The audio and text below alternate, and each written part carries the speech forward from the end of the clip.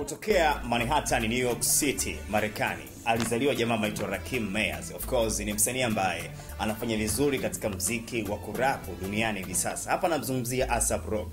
Naamini ya kwamba wanangu wa shule, kuna vitu vingi ambavyo vilishawahi kujitokeza, lakini mara nyingi sana wao mnavikumbuka.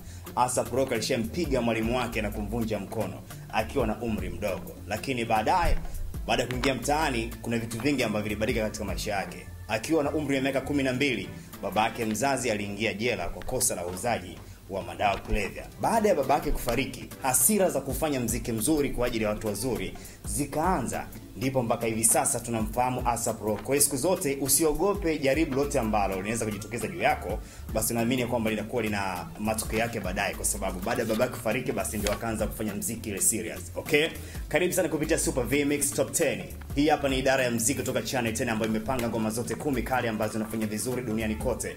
Usisahau pia inakukaribisha kuipigia kura ngoma yote mpya ambayo imetoka katika mitandao yote ya kijamii kupitia Facebook, Twitter pamoja na Instagram. Kupitia Facebook andika Vmix na kupitia Instagram andika Vmix underscore chane 10. Karibu tudondoshe nafasi ya kumi. Mimi naitwa Mwaka the Boy.